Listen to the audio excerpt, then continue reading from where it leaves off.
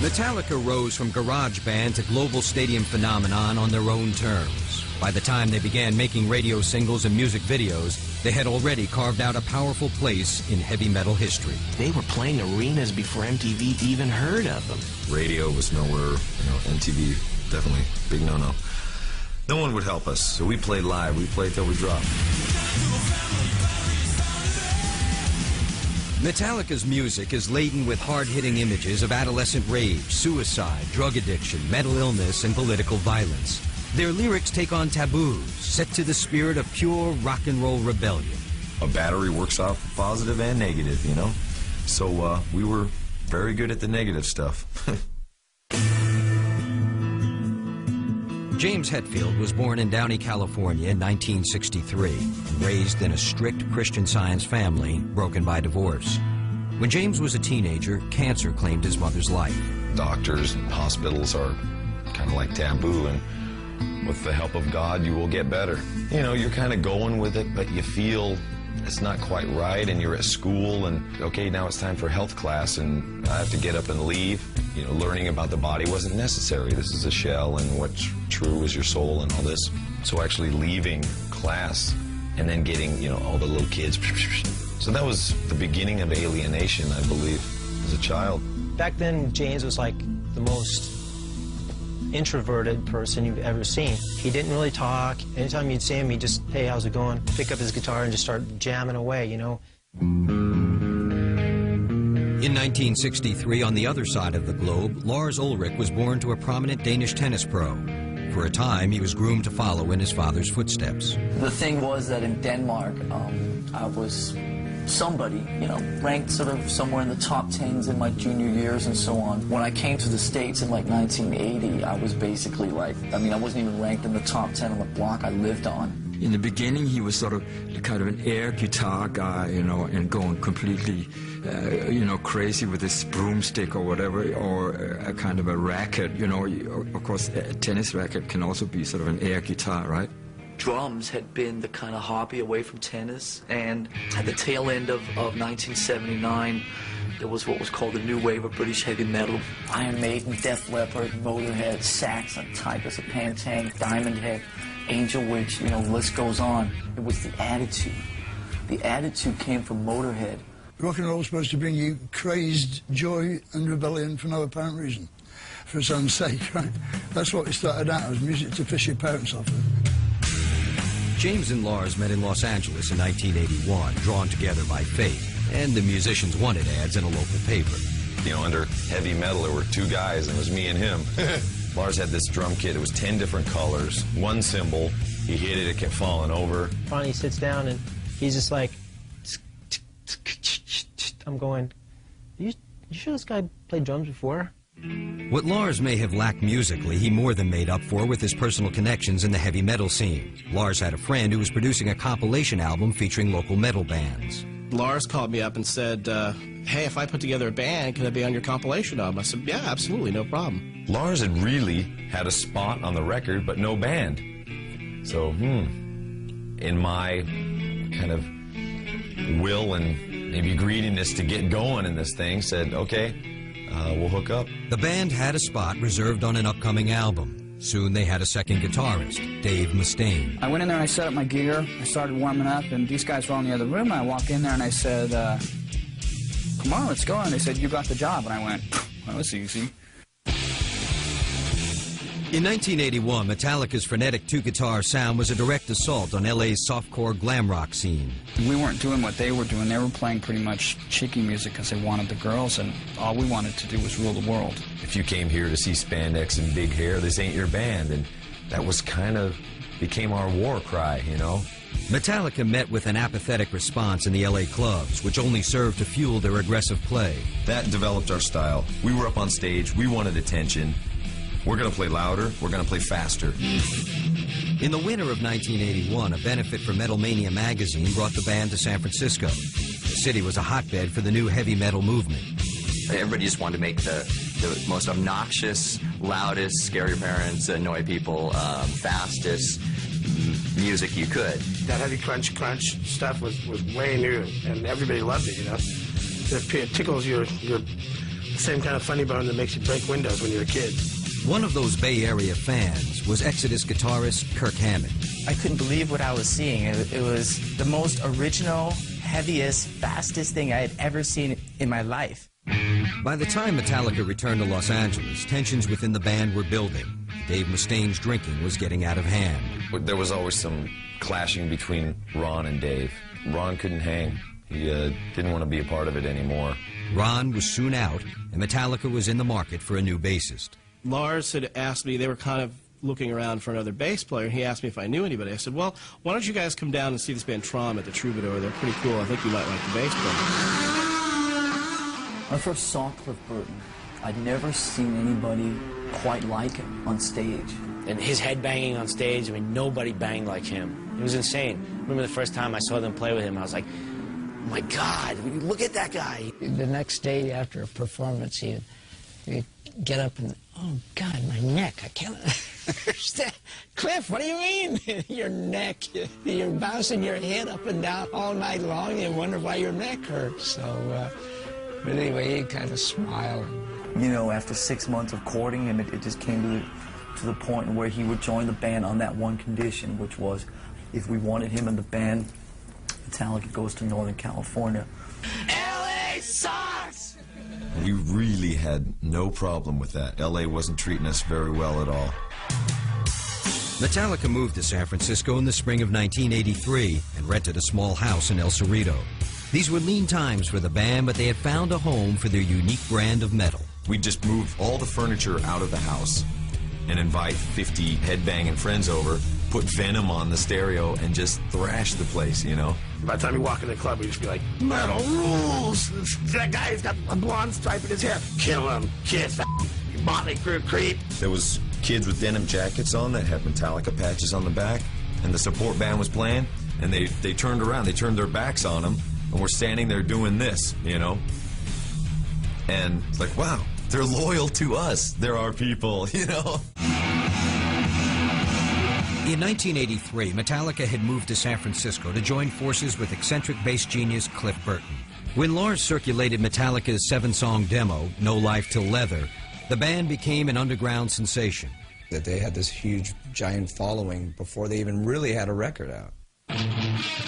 Metallica's demo wound up in the hands of Johnny and Marsha Zazula, who ran a music flea market in New Jersey called Rock and Roll Heaven. It was the East Coast capital of the growing metal movement. Metallica was the answer to America's prayers. They were the first band we heard that really made America look They gave good. the American hang, headbanger something to hang their hat on. Johnny Z offered to manage Metallica and to secure them a recording deal. So we come out to New York and we meet this guy who was giving us, you know, $75 to drive across the country. It's like, hi, we're Metallica. Hi, I'm Johnny Z. Well, John, come here. Well, you see the guy with the Dave Mustaine? Um, we're actually going to get rid of them next week. Whoa. And we all got up early one morning and uh, walked into the other room where Dave was sleeping, and Shake, shake, shake. Dave wakes up, and rolls over. And, "Oh, what's going on, guys? I look up and I see the four of them. They said, You're out of the band. And I said, What? No warning? No second chance? the famous line, Dave, you're out of the band. Uh, you know, well, you know, when's my plane leave? Uh, Well, you're spending the next four days on a Greyhound bus that leaves in 45 minutes to pack your together and let's go to the bus station before you even know what hit you. And that was that. No sooner had Dave Mustaine boarded a bus than Kirk Hammett arrived in New York to audition for the band. the first song we played was Seek and Destroy. And Kirk pulled off this solo. It was like, things are going to be all right, man. And we went to the studio and recorded Kill 'Em All. From then on, I thought, well, I guess I'm in the band. We parlayed everything we had to, to make this Kill 'Em All record. We thought this was an amazing record. It was a classic. We have a debut album out on Megaforce Records. It's called Kill 'Em All. We're glad to kill all you tonight. Who wants this? The international metal underground was primed for Metallica's first album, Kill 'Em All, and sales soared to over 300,000. The band toured Europe and America for most of 1983, supporting the album and widening their audience.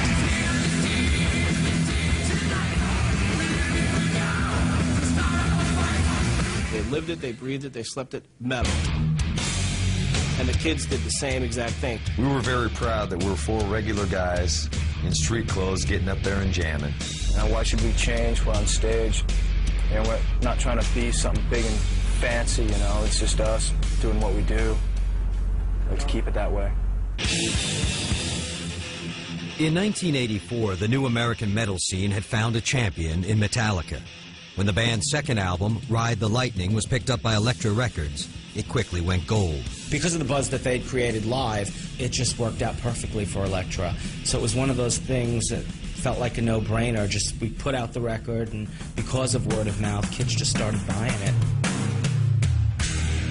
On the road, Metallica's unabashed love of alcohol became the stuff of legend. So much so, the press took to calling them Alcoholica. Alcoholica. Alcoholica justified, absolutely. It basically grew out of our love for vodka. They were never a drug band. They were never, you know, like the American bands all want to get high. They like to drink. We had discovered this lovely after dinner drink called Jägermeister. There was a certain opiate in it that got you extremely violent. Dude had people like literally walking into walls, taking their clothes off. I mean, this stuff was lethal. Standing up on the bar, taking a piss, whatever, you know, getting your nuts out at a restaurant. I guess it's, it's sort of like a East Bay attitude, you know, crush, kill, destroy, smash. You know, whatever the bill was, it was all worth it. It's all rock and roll. It's all being on tour. Their rough and tumble touring life did nothing to slow Metallica down. And in the spring of 1986, the band released its third album, Master of Puppets. It sold a million copies without the benefit of a radio single or music video. Metallica toured for six months with Ozzy Osbourne. It would be their last as a supporting act. They really give me a run for my money every, night. The crowd were going nuts for them, you know, stealing the show most nights. They were really hard to follow. On tour, Metallica indulged in classic rock and roll excess. And when you're 22 years old and all you want to do is get laid and get drunk and live all those excesses that you hear about or read about, and all of a sudden they're right in front of you. We'd come right off stage into the showers, and there'd be, you know, a whole locker room shower filled with women. I mean, how great is that? That happened.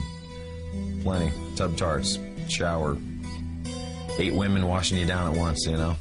Not a bad feeling.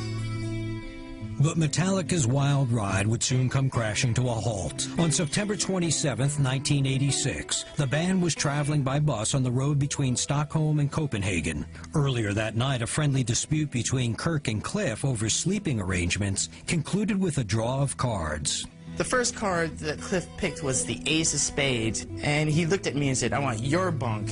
And I said, fine, take my bunk, I'll sleep up front. That's probably better anyway, you know. Later on that night, at about 5 or 6 in the morning, I heard a skidding, I heard a vibration, and then this, this motion. I thought we were going off a cliff. He overcorrected to get back onto the road, and as he did, the back end came around this way, and it started chomp, chomp, chomp. It's the sound of screeching brakes and uh, being flipped around like a piece of clothes in a dryer. Just got woke up, like hot coffee getting poured all over me, you know, from the, the coffee machine, and, you know, the bus was on its side. And I heard everyone screaming except for Cliff. And I thought, oh my God, something's wrong. Seeing the bus driver just, you know, freaking, frantic. And I turned around and I saw Cliff's legs sticking out from underneath the bus. I went to, you know, pull him out, wake him up or whatever. It's like, you know, he's not moving. He just got thrown out the window and boom, the bus landed on him. And basically, by all accounts, I mean, he never woke up. Early Saturday morning, September 27, 1986, on the road near Ljungby, Sweden, Cliff Burton died. Within hours, news of Cliff's death reached Metallica's fans in America. One such fan was Flotsam and Jetsam bassist Jason Newsted. I remember tears hitting the newspaper. Killed in Sweden, Metallica bassist Cliff Burton, 24 years old or whatever, and I'm just just lost it. Lars, James, and Kirk returned to San Francisco to attend the funeral of their friend and bandmate. Lars took over from then on. And, you know, in all fairness to Lars, without Lars Ulrich, that band wouldn't be where they are today. With the added pressure of a Japanese tour scheduled to begin within a month, the band auditioned 40 prospective bassists in San Francisco. I can remember those those auditions just being really, really bad because we, we were drinking throughout the whole thing. We were still grieving, obviously. We tried out quite a few people. Uh, Les Claypool from Primus was actually one of them. Lars was all, you're not used to playing this kind of music, are you? And I was like, no, hey, you know, you guys want to jam on some Isley Brothers tunes, you know? And uh, nobody, nobody laughed at my joke. He was too good. He was like, okay, you got your own thing, you know. They never called me, and I weeped, weeped, weeped like a like a like a little girl. Well, a guy would come in that just didn't look right or whatever, plug the bass in for 20 seconds, do do do next. I mean, it was cold, and I'm just going whole. I was shaking in my boots. Jason, we thought, was the man. Kind of the punter vibe, but he had the energy that we were looking for. We sat down and we decided he's going to be the guy, so we took him to this place, Tommy's Joint in San Francisco, where we kind of like to hang, and took him out to grub, and Lars and I went in the bathroom to piss together. It's like, let's go tell him now, okay? Lars comes out, do you want a job? And I go, nah, I guess. And he goes, okay, you're going to be bass roadie. And I'm like, her, you know? like, he goes, no, you got it, man. You're in. You want to play with us? And I'm like, Jason's jumping off the table and doing backflips and all this stuff. It's like, okay, all right, man, you know. Um, but soon after that was the the hazing. We gave him a pretty tough time because we, we didn't want him to think that he just like waltzed into a perfect situation, you know? you know? I hate to say this, but Jason became the scapegoat for, for, you know, the tragic loss that we had just experienced with Cliff. With the specter of Cliff Burton's death hanging over the band, they embarked for Japan in the fall of 1986. But for Metallica and their new bass player, the transition was a hard one. We were all trying to see his his boiling point, you know, or how much he can take, you know. Loving him means that, that he has to accept us for who we are, which is not easy. I mean, everyone thinks, wow, this guy's landed the greatest gig, etc. On the one hand, yes, but on the other hand, think of all the baggage that he's got to plow through, plus he's got those three. Still mourning the loss of Cliff Burton, Metallica found an outlet for their anger and rage in the recording studio. Their album, And Justice for All, was a progressive, frenzied, and violent album that pronounced the death of the American dream and found immediate favor with heavy metal fans. They'll leave a venue like at 4 o'clock in the morning and there's kids still waiting out there. It doesn't make a difference how tired they are. They'll talk to every single one, sign every single piece of paper. They're incredibly gracious and generous, and their fans know it and appreciate it. We're just four lucky fans that got together and started playing. This could be you. In October of 1990, Metallica entered the studio to record their fifth album with producer Bob Rock. So I saw them live, and I was very surprised to see how powerful they were. He came to us and said, look, you haven't captured what you're capable of on a record yet. So I just wanted them to sound better. And basically, by sounding better, hopefully the audience would get bigger and, and more people could get into Metallica. Say your prayers, little one. Don't forget my son to include everyone. The recording process took over 10 months and cost over a million dollars. The grueling sessions were plagued by creative differences and personal conflicts. Throughout the whole recording, we were so, so anal about everything, so protected about everything, so guarded about everything, that it created a lot of tension. We forgot why we were there to create and play music. By the time the album was finished, three out of four of us were divorced.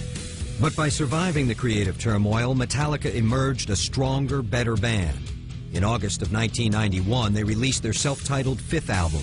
The controversial cover reinforced the no rules but Metallica rules ethic. Black sleeve, black logo, no explanations. We've got a bone to pick with these two. You know, it's called Black Album. It's called Black Album. Now, where did the idea come from to do an all-black album? Metallica representatives.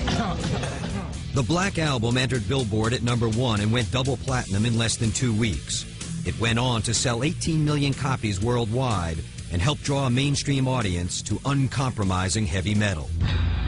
Metallica toured relentlessly for the next two and a half years, playing more than 300 dates worldwide. Obviously, they're known for touring and touring and touring and touring, but in, in this kind of music, they, they proved to be the ultimate road dogs. Since day one, that's how we got our fan base. We got to love playing live. And touring was our thing. The band stopped in Moscow to perform for a crowd of over a half million Russian rock and roll fans. Russian boys running up, hugging you, going, We love Metallica, you know. We've been waiting our whole lives, and the energy that we got from them was just so amazing. But in the turbulent wake of perestroika, the enthusiasm of the crowd clashed with the Russian military authorities. Violence erupted. It's all military, beating kids down, just whacking them. They don't know, they don't understand what a release is at a show. They don't know what's going on here. During the show, the band was unaware of the mayhem. When the music stopped, Metallica was shocked to learn about the brutality that raged while they played. I believe there was like 200 rapes, 11 deaths, uh, people beaten to a pulp.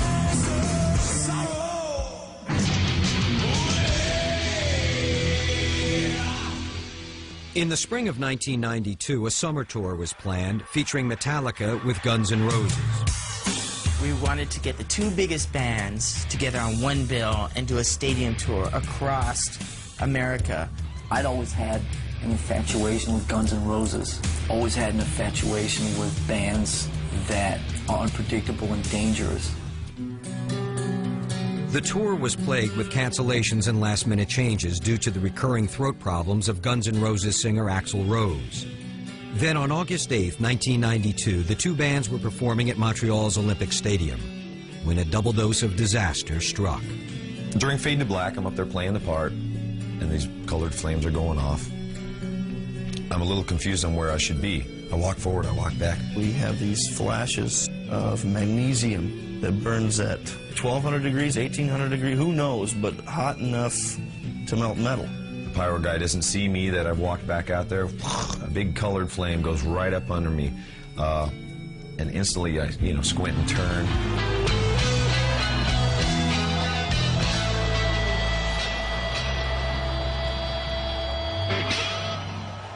James Hetfield looks like uh, that torch that they carry up the stairs to light the Olympic fire. So I'm burnt, all my arm, my hand completely down to the bone. The side of my face, hair gone, uh, part of my back.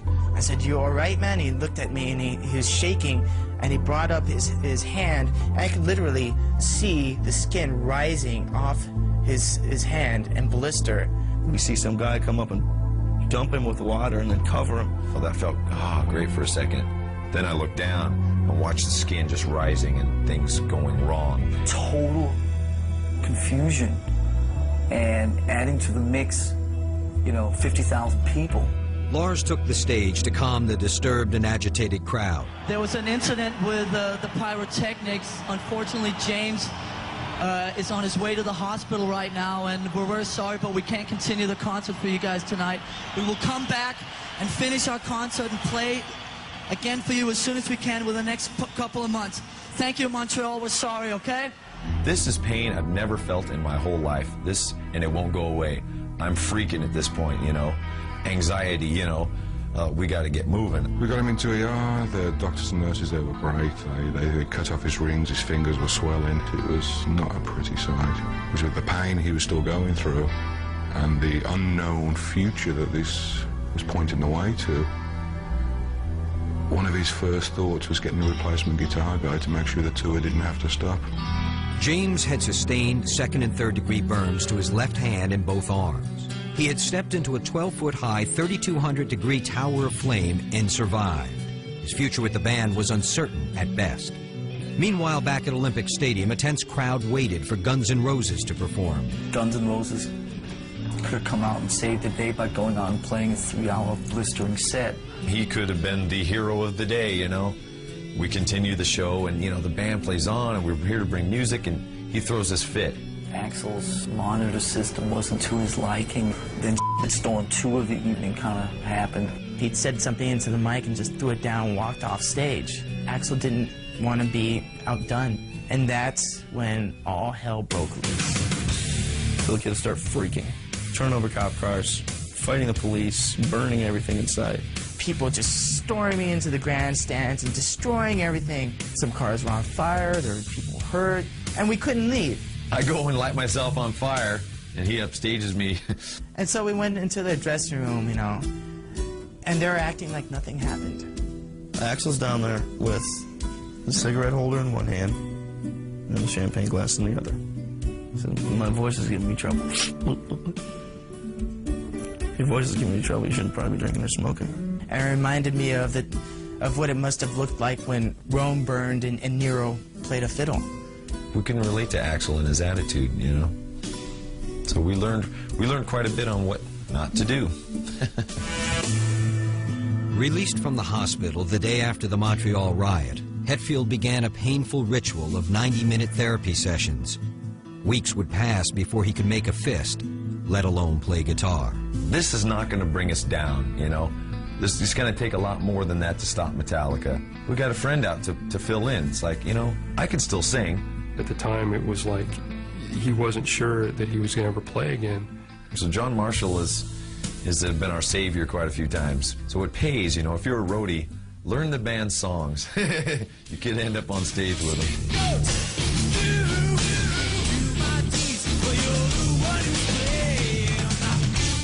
Was very, very, very motivated to heal himself as quickly as possible. And James is the kind of guy who doesn't like letting people down. But we've asked a lot from James Hetfield as a band, as people, and he's delivered every time. It was always, I'm going to play. This is my life, and I don't care what happens. I'm going to continue. When you have a record that won't go away, it gives you the opportunity to keep touring on it. Basically turned into a challenge for us, another challenge. Hell, Metallica, we'll tour two years. Screw it. We got the endurance. Metallica toured relentlessly for the next two and a half years, playing more than 300 dates worldwide. Obviously, they're known for touring and touring and touring and touring, but in, in this kind of music, they, they proved to be the ultimate road dogs. Since day one, that's how we got our fan base. We got to love playing live. And touring was our thing.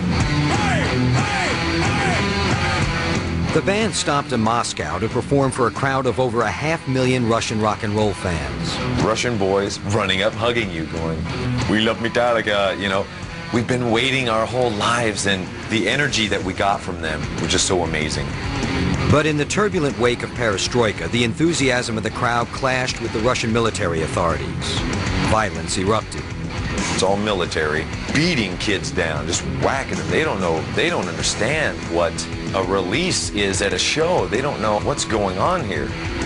During the show, the band was unaware of the mayhem. When the music stopped, Metallica was shocked to learn about the brutality that raged while they played. I believe there was like 200 rapes, 11 deaths, uh, people just beaten to a pulp.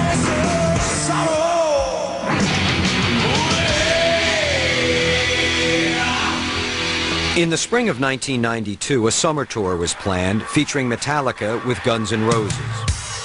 We wanted to get the two biggest bands together on one bill and do a stadium tour across America. I'd always had an infatuation with Guns N' Roses. Always had an infatuation with bands that are unpredictable and dangerous. We learned a lot that summer. We learned what not to do as a rock band. The tour was plagued with cancellations and last-minute changes due to the recurring throat problems of Guns N' Roses singer Axl Rose. Then on August 8, 1992, the two bands were performing at Montreal's Olympic Stadium when a double dose of disaster struck. During Fade to Black, I'm up there playing the part, and these colored flames are going off. I'm a little confused on where I should be. I walk forward, I walk back. We have these flashes of magnesium that burns at 1200 degrees, 1800 degrees, who knows, but hot enough to melt metal. The pyro guy doesn't see me that I've walked back out there. A big colored flame goes right up under me. Uh, and instantly I, you know, squint and turn.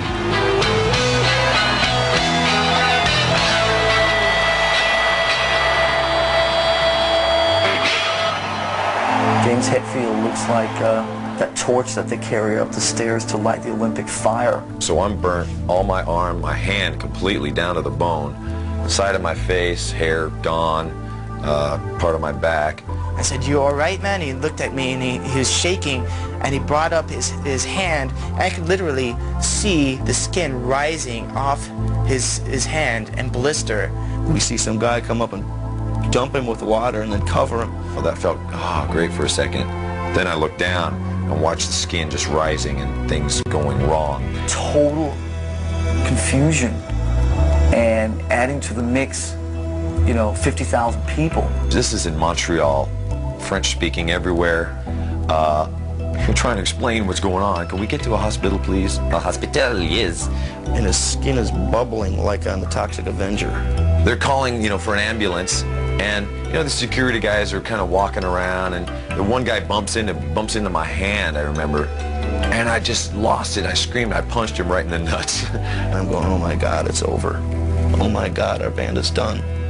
Lars took the stage to calm the disturbed and agitated crowd. There was an incident with uh, the pyrotechnics. Unfortunately, James uh, is on his way to the hospital right now, and we're very sorry, but we can't continue the concert for you guys tonight. This is pain I've never felt in my whole life. This, and it won't go away. I'm freaking at this point, you know. Anxiety, you know. Uh, we got to get moving. We got him into ER. The doctors and nurses, they were great. They, they, they cut off his rings, his fingers were swelling. It was not a pretty sight. It was with the pain he was still going through and the unknown future that this was pointing the way to. One of his first thoughts was getting the replacement guitar guy to make sure the tour didn't have to stop.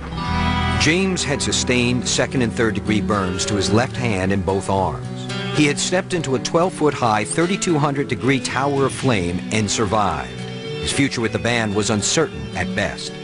Meanwhile, back at Olympic Stadium, a tense crowd waited for Guns N' Roses to perform. Guns N' Roses could have come out and saved the day by going on and playing a three-hour blistering set. That didn't happen.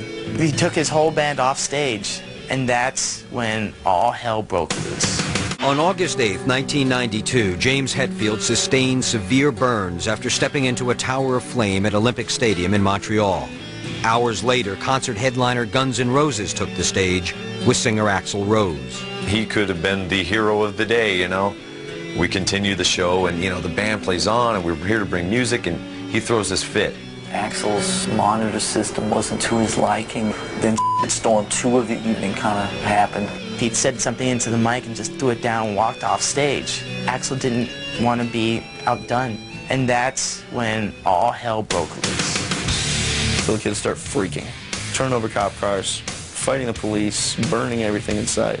People just storming into the grandstands and destroying everything. Some cars were on fire, there were people hurt, and we couldn't leave. I go and light myself on fire, and he upstages me. and so we went into the dressing room, you know, and they're acting like nothing happened. Axl's down there with the cigarette holder in one hand and the champagne glass in the other. So my voice is giving me trouble. Your voice is giving me trouble. You shouldn't probably be drinking or smoking. And it reminded me of the, of what it must have looked like when Rome burned and, and Nero played a fiddle. We can relate to Axl and his attitude, you know. So we learned we learned quite a bit on what not to do. Isn't it funny how history has almost erased Guns N' Roses? One of the great frontmen in the past 20 years disappeared, yet Metallica continues to play anywhere in the world in front of any mass of people, comes out with a new record which will always go platinum. They are the Led Zeppelin of this generation. Released from the hospital the day after the Montreal riot, Hetfield began a painful ritual of 90-minute therapy sessions. Weeks would pass before he could make a fist, let alone play guitar. This is not going to bring us down, you know. This is going to take a lot more than that to stop Metallica. We got a friend out to, to fill in. It's like, you know, I could still sing. At the time, it was like he wasn't sure that he was going to ever play again. So John Marshall is, has uh, been our savior quite a few times. So it pays, you know, if you're a roadie, learn the band's songs. you could end up on stage with them.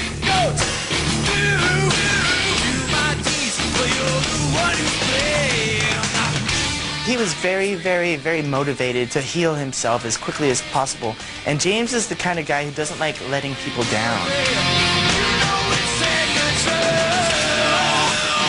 We've asked a lot from James Hetfield as a band, as people, and he's delivered every time.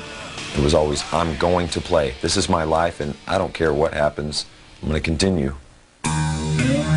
After two and a half years of nonstop touring, in the summer of 1994, Metallica agreed to take a long overdue open-ended break.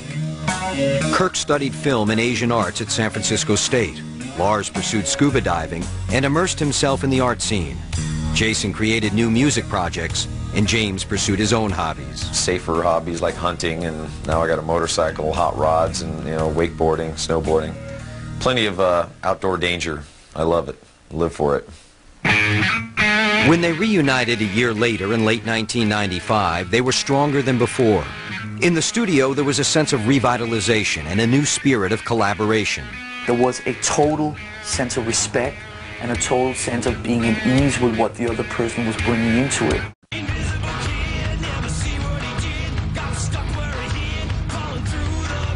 After three years in production and despite the near disintegration of the band, St. Anger is finally released in June 2003.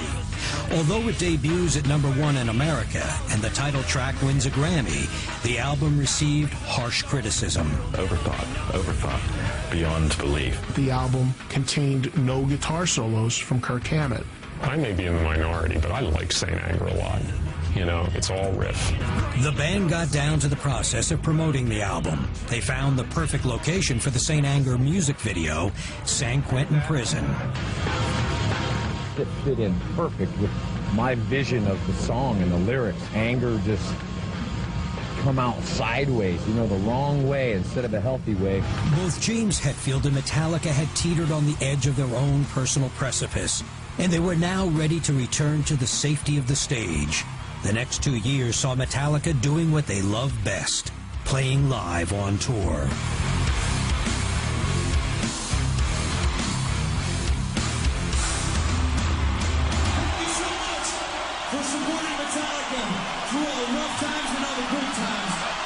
The band spent the two years of touring and a year break writing songs for a new album. Then another shock for Metallica fans. In 2006, Metallica announced that after 15 years in the chair, Bob Rock would not be producing their next album. In stepped legendary producer Rick Rubin.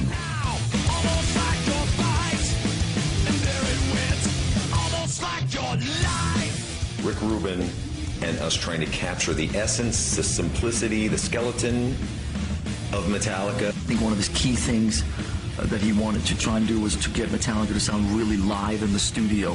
He also had a long history with thrash, you know, as a Slayer producer. I mean, just like as the man who basically codified what speed and thrash metal sounded like in the studio.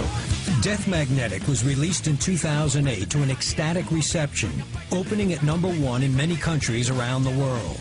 Metallica became the first band in history to have five consecutive albums debut at number one on the Billboard chart. Death Magnetic has some of their best writing. It has some of James's most intense and revealing lyrics. It's a great old school sounding Metallica metal album. Totally uncompromising. The return of Kirk Hammett playing solos is a huge triumph.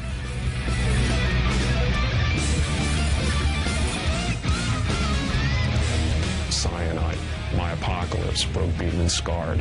On top of all that is some of the best riffs they've ever written. The performances are fantastic. You know, just throw away the rules and don't give a damn what anybody else thinks.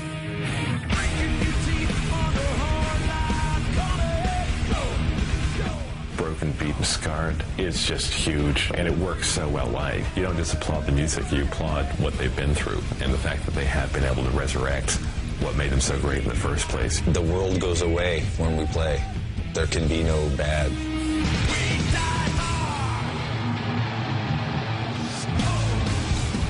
Today, after nearly three decades together, Metallica shows no signs of slowing down. With Death Magnetic, they had re-established themselves as the greatest force in heavy metal. And the rock and roll establishment finally agreed too. It is my sincere honor to induct you all into the Rock and Roll Hall of Fame. You know what? Remember one thing. This is really all about you people up on the balcony. Just remember that. In recognition of his enormous contribution to the success of the band, Metallica included Jason Newsted in the induction ceremony. Thank you for giving me the opportunity to share the experiences of these amazing, bountiful decades of heavy metal ambassadorship. I want to thank Lars for calling me so we can include each other in our dreams of being in the greatest heavy metal band in the world. Thank you. Metallica had smashed open the doors to a Hall of Fame previously locked to a legion of heavy rock bands. Their journey ahead is sure to take them from ambassadors to kings. Their power and influence reign supreme. Long may it continue.